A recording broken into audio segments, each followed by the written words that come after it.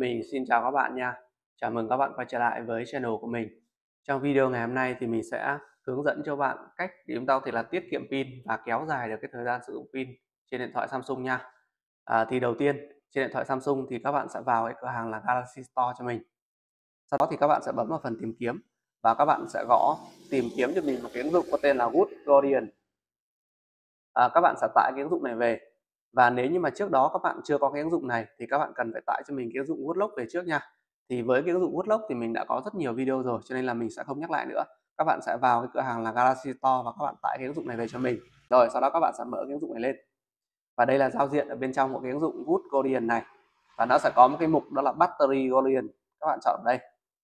Và cái phần này thì nó sẽ à, cho phép các bạn có thể là tiết kiệm pin ứng dụng nha. Các bạn bật những cái phần này lên cho mình ở đây thì các bạn sẽ chọn cho mình một cái phần nó là kéo dài thời lượng pin. Và cái phần này nó sẽ có những cái phần lời khuyên cho các bạn để có thể bật lên. Ví dụ như là các bạn có thể là bật cái chế độ tối kích hoạt cái chế độ tối lên.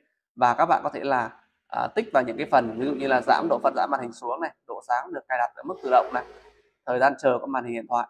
Những cái chế độ như là on going on display và độ sáng video tất cả những cái phần này các bạn tích vào. Sau đó thì các bạn nhấn vào phần là tối ưu ngay và các bạn sẽ chọn là phần đó là áp dụng. Thì sau khi mà các bạn đã tối ưu và áp dụng như thế này thì điện thoại của các bạn nó sẽ tăng cái thời gian sử dụng pin lên.